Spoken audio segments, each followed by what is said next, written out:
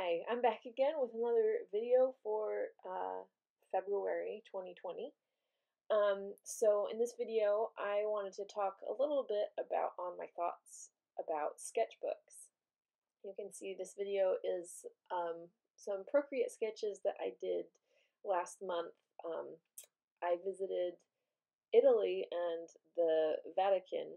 I was there for my sister's wedding, and I really loved these sea creatures that were on the mosaic floor in one of the rooms of the Vatican. And so I kind of wanted to do my own version of those sea creatures. So the first two of these were done on the plane home from uh, the wedding. And then the last one I did to kind of round it off. I felt like three would be a good number, so I did one more. So I wanted to talk about sketchbooks because I feel like it's a um, a topic that there is some kind of different opinions on in kind of artist circles. I feel like on the one hand, there's the people who say, you know, you're you're not a real artist if you don't have a sketchbook, and you should be taking it everywhere. And um, you know, if you, if you don't do that, then like, you know, you're you're doing it wrong, basically. And then on the other hand, I know artists who don't keep a regular sketchbook and um, they still make great art and um, you know, record great ideas in other ways. And so for me, I was first really introduced to this idea of the artist sketchbook in high school. My high school art teacher, um, she was really great, and one of the things that she did require that we do would was not only to t- keep a sketchbook, but we were required to do it in pen so that it wouldn't smudge and get ruined. And um, we were also required to date each sketch that we did. Um, and so it was a really great practice. And because of that, I became very comfortable in drawing with um, ballpoint pen, actually. And that's probably my preferred medium to sketch in to this day. But um, one thing that she asked us to do, in addition to those things, which really helped me, I think, have um, a more healthy attitude toward um, sketching and sketchbooks, was um, she said, I want you right now and to even practice saying this in your head so when it comes up um, that you you know you know you know what to you're going to say is if someone asks you to see your sketchbook and you are not comfortable with them looking through it you politely tell them no. That um, the sketchbook is not a show off book. Um, a sketchbook is not this uh, beautiful collection of, of finished masterpieces a sketchbook is it's a sketchbook. It's a place where you're practicing and you're making mistakes and you're kind of just experimenting and, and learning. And um, I, I really uh, loved that and it really helped me to kind of keep a sketchbook. Um, i will say that i'm still only like an intermittent sketchbooker at best. I do keep like a, um, a bullet journal. And so i do have like a, a book available to write things down or sketch when um, like when when I have the opportunity, but I don't. I'm not always getting it out because I'm a mom. I'm busy. There's a lot of things going on in my life. Um, but I have really, I, I've always um, kind of held on to that uh, idea of a sketchbook that she, um, she, you know, gave to us there. That it's like this is this isn't a, a place for like fancy artwork that you go and open up and show off. This is where you're, you know, experimenting and learning and trying new things. In fact, I had, um, yeah, um, I don't want to make this sound like, oh, and then, uh, you know, this is actually a bad thing. So let me, before I tell this next story, I'm going to say, um, most people, when I had have told them in the past that, hey, you know, I'd really rather that you don't look at my sketchbook. It's, you know, kind of a learning space and it's not finished artwork. Um, they take it very well. Most people are very polite. I only had one experience in um, in college where one of my classmates.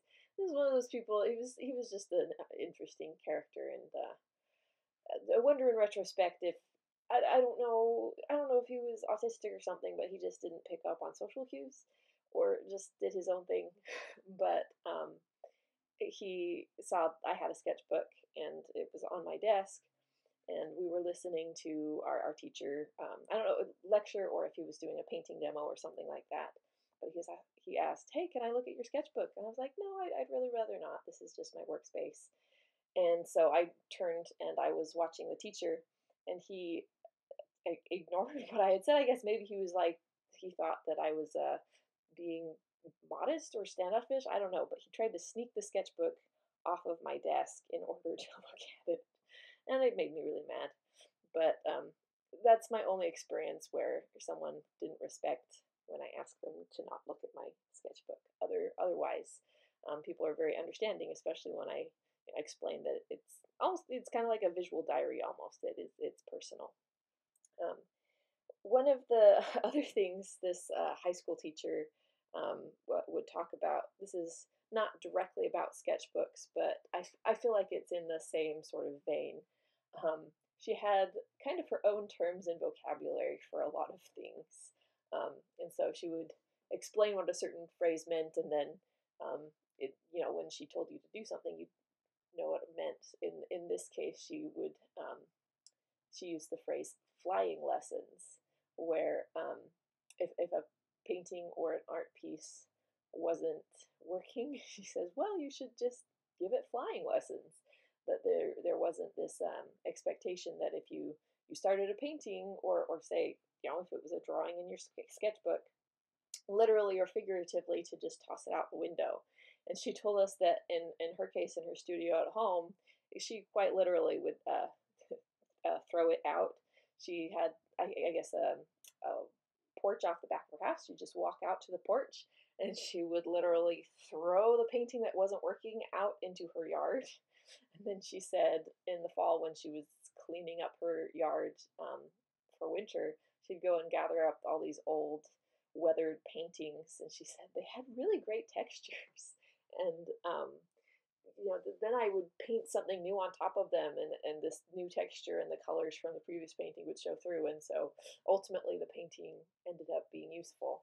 But I feel like this is applicable to the whole discussion of having um, sketchbooks be a personal place for experimentation is also the idea of um, just because you've started and spent some time on an art piece, whether it's in the sketchbook or or on a canvas or whatever you, whatever medium that you're doing doesn't mean that it's uh, going to go well and i think that it's healthy to be able to just say well i tried that and let's let's start something new. We don't have to keep sinking time into something that's not working.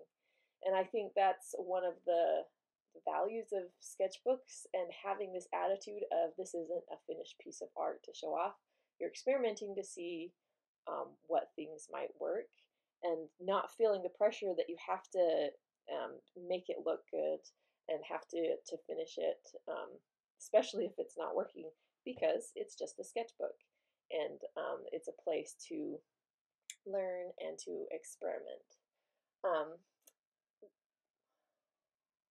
one thing that I um, want to clarify, I guess, is that one thing that I've seen a lot of artists do very successfully is publish what, what they call um, a sketchbook. I'm, I'm thinking of Corey Godbey is one that comes to mind, and Jake Parker, and I know a bunch of other artists have done this.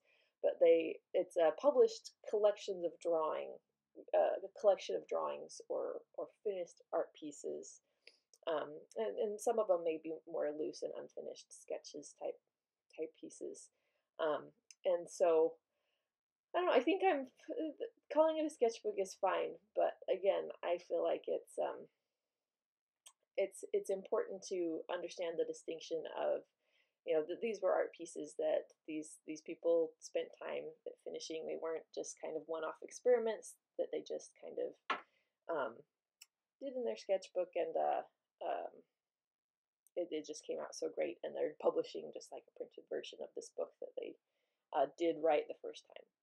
Um, and I, I don't know if they're misleading people um, by calling it a sketchbook, um, but I don't know if people even stop to think about whether it was, um, you know, done that way the first time, basically.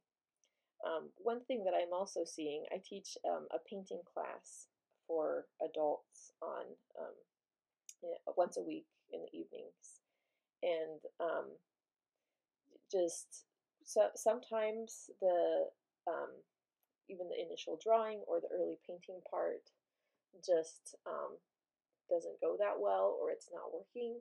And um, there's and different people have a different difficulty with it, but sometimes there's this reluctance to um, either start the painting over or make significant changes to your drawing once you've spent some time on it.